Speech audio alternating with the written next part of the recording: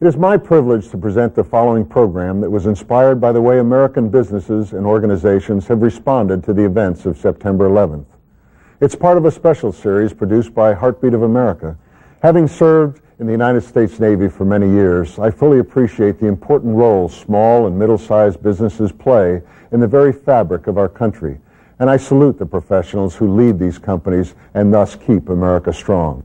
They are the very backbone of our free enterprise system and today, on this program, you will meet the individuals behind one such organization.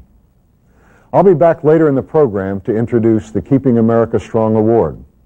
And now, let's learn more about the organization we are honoring today.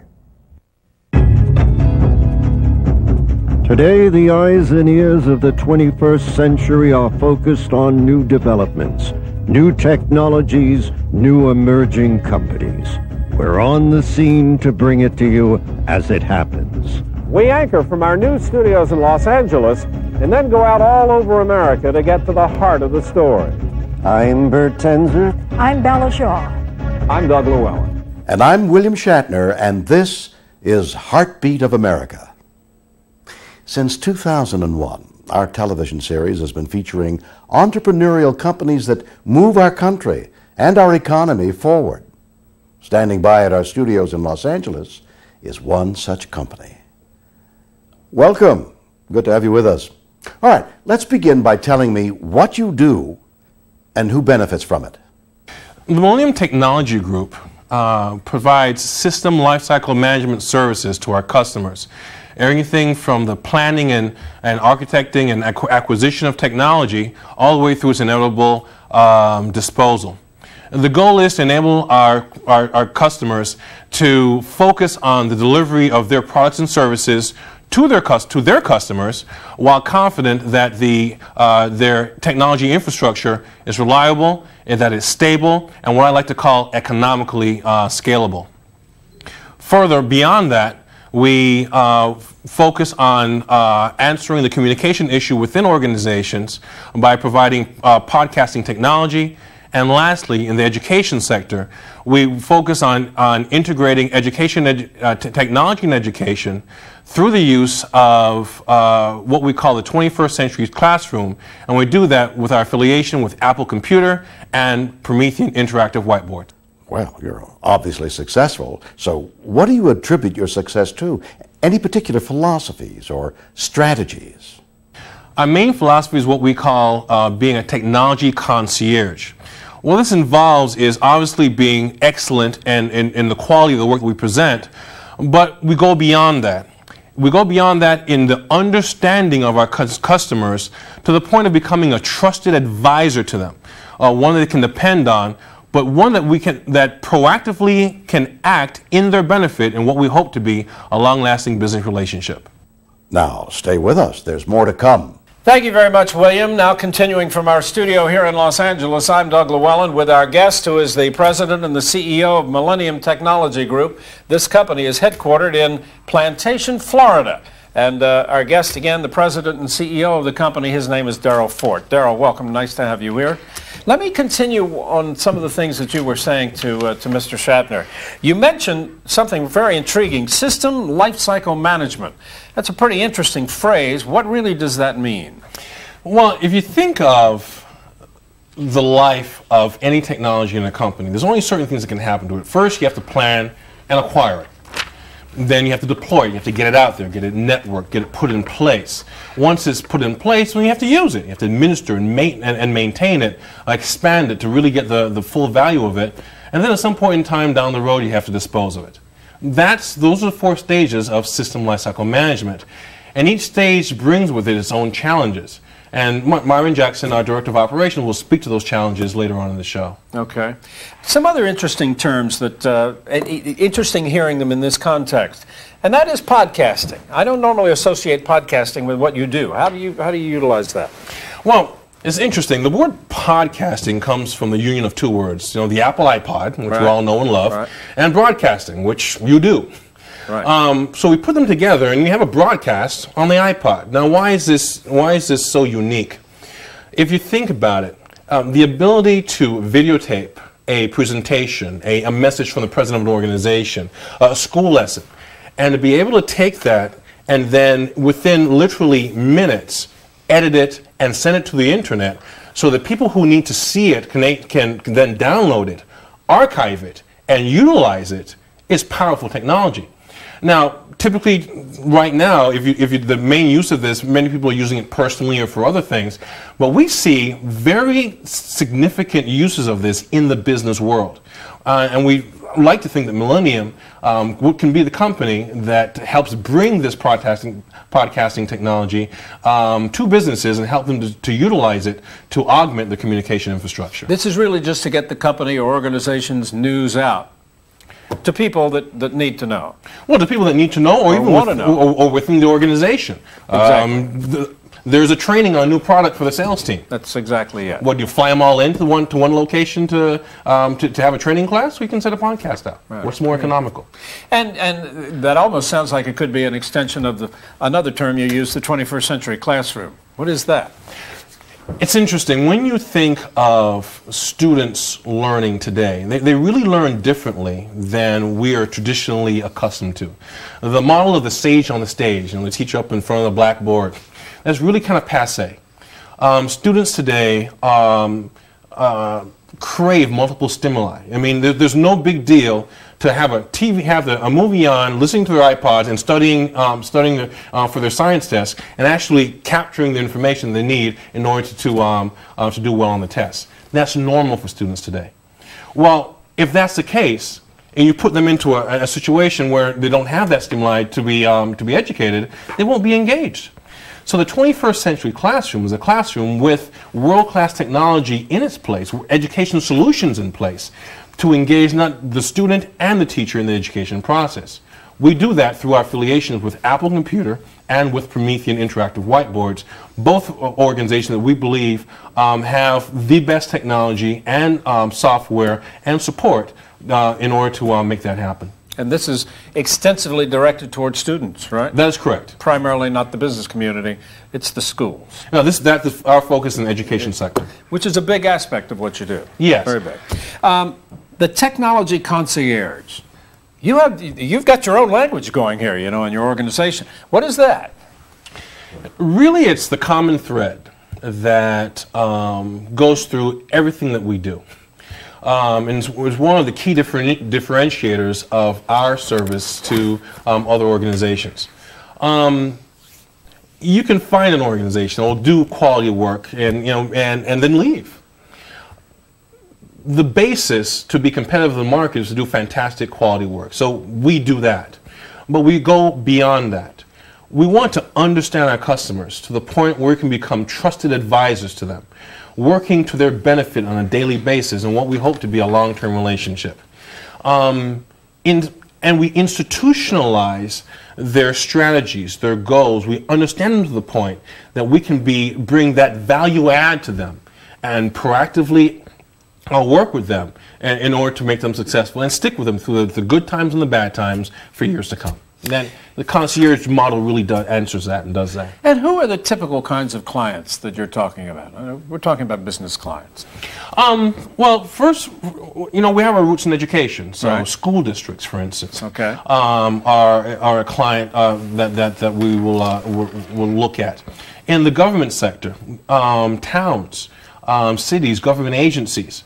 Um, we've, uh, we've been able to do work in, in, those organizations in, in what we call strategic IT planning, that first step really of the um, system lifecycle management uh, program, um, to help them really look down the road and understand in a holistic way what they will need in their IT um, organization in order to be successful and save money, be economical and efficient in, in doing so and the, and in the, in the private sector, in the private sector, really helping organizations to look at their IT departments um, in a holistic way. Um, most organizations aren't IT organizations. I mean, their job, what they do, is get their products and services out to their customers.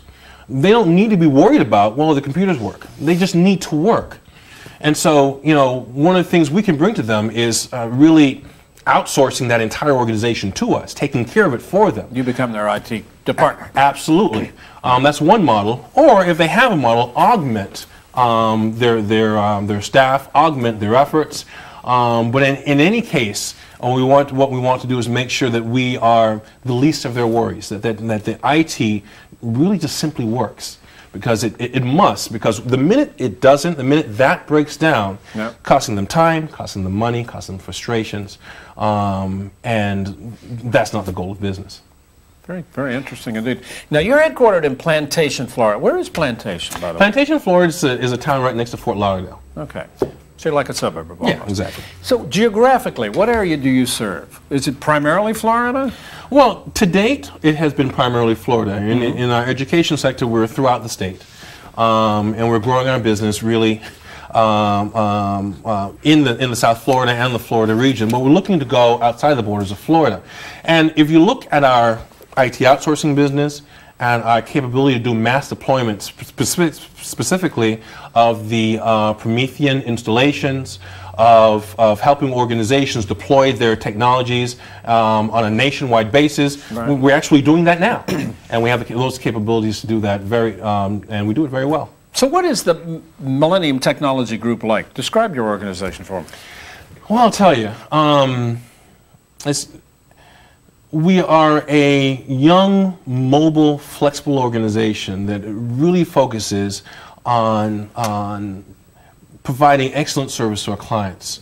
Um, the people that we bring on board, we, seem to, we, we seek to develop them, to grow them, um, so that their time with us is well spent and that it is um, uh, a benefit to them and to the people that we serve. Um, we're we're in business. We have a cause. We have a passion for what we do. And we, we, we began in education. I mean, that's where, where it all It where it all kind of started, Yeah. uh, with a goal really to deploy and integrate technology in education um, to the benefit of the students um, and, and, and the educators.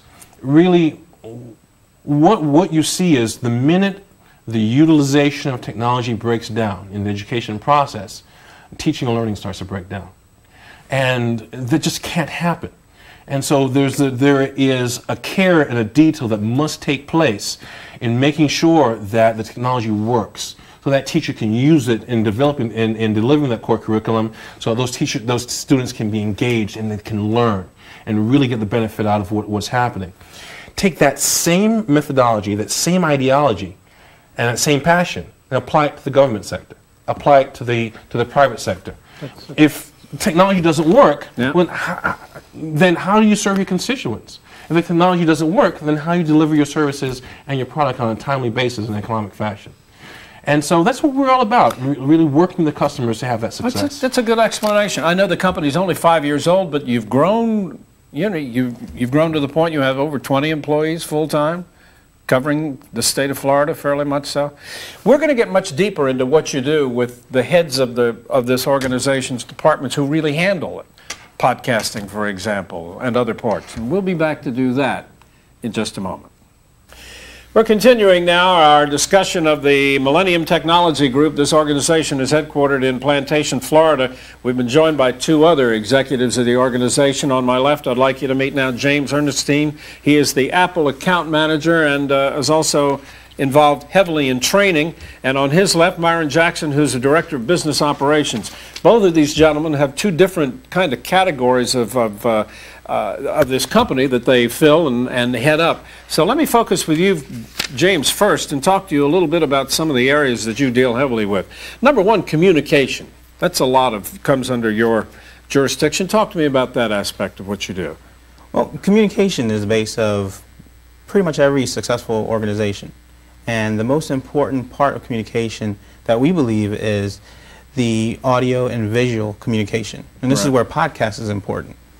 And, well, to give you a, a couple examples, podcasting um, in the education space, we'll see a teacher in the past only had the ability to do best practices with the staff they currently have at the school. But with podcasting, you can get um, that professional development as well as the best practices via podcasting throughout the entire world. So this is really a kind of a form of education for the educator. Is that Exactly. it, that you're talking about, rather than using podcasting in the classroom? Correct. And also, uh, this enables the educator to extend the learning day because the educator can make the podcast available to the student to take home. Okay, if it's appropriate for them. Exactly. Okay. Now, that all comes under part of the 21st century classroom, I guess, know, right? That's correct. Because that's a no, Oh. another whole area you talk about. What about podcasting for business?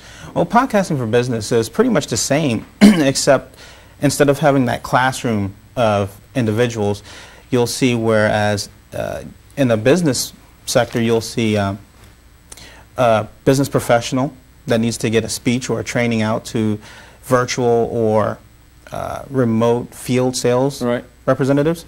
And either everyone could come in for that, or you can have that recorded and podcasted out throughout those individuals. I guess the key is, do you show them how to do this? Is this part of the service you provide? That is part of a service we do provide. We can show them. If they don't have the staff available, we can do it for them, record it, edit it, and disseminate the product very quickly, rapidly. I mean, as the Apple account manager, what does that mean that, that you're actually handling? And how much of the work that you do, you know, and the equipment you work with, is Apple oriented versus PC oriented? Well, the Apple account manager, what that comes from is we do a lot of work with Apple, and we have engineers that you know go out to different, I guess, counties, cities, and and do different things for Apple. Clients who use apps, right? Exactly. Right. And mainly that's been in our education space. Okay. They're big in the Apple. Right. Apple's big in the in the educational field. Correct. Okay. I understand you're a whiz on the Mac, right? So everybody needs his phone number if they have a problem. But you don't have problems with Macs, right? Not that I know of. Let me turn uh, to Myron. Myron, talk to me a little bit about, uh, as the Director of Business Operations, what comes under your jurisdiction? Well, as uh, uh, most companies uh, uh, uh, implement the systems lifestyle management model, uh, my job is to take all four uh, segments of the system lifestyle management model and implement them. So I'm involved in the planning process. I'm involved in deployment of the equipment after, after the planning process takes place. Uh, I'm also involved in maintenance if the customer decides he wants maintenance and administration of, of their equipment. And then, of course, the last segment, uh, disposal.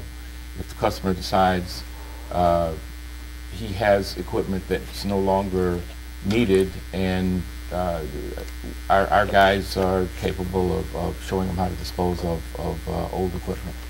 So you deliver and set up the new equipment that, that your company arranges, is that right? That, that's correct.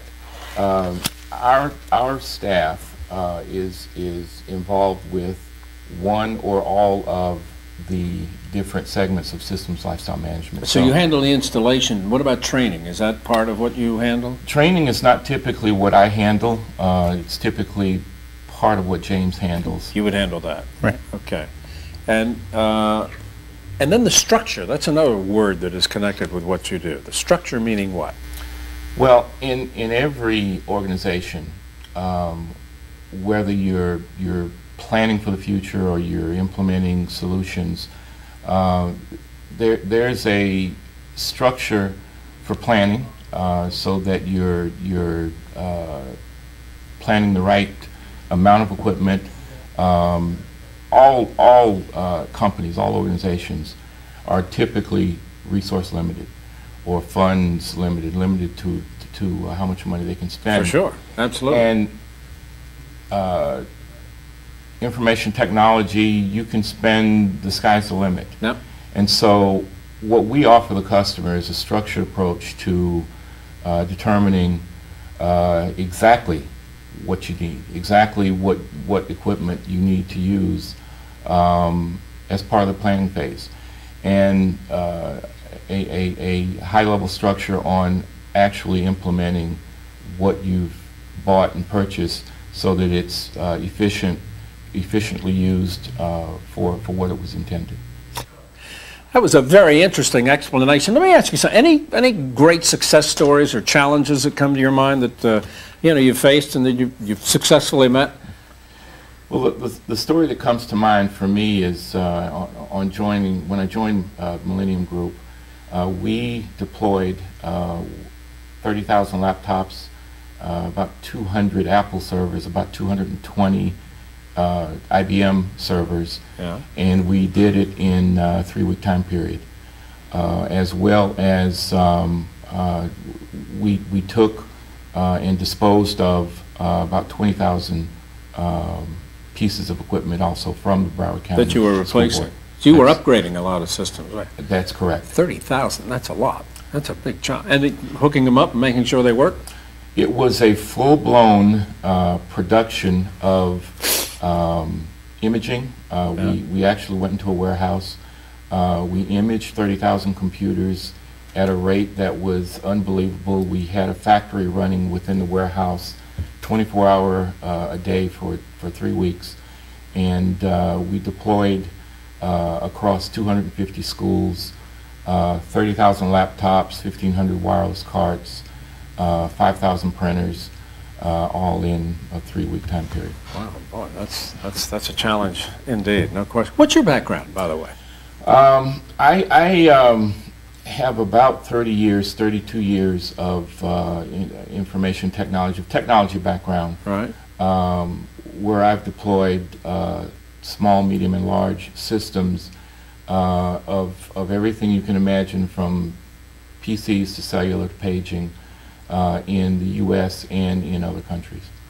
So you're really, really very knowledgeable about this, this business, from the tech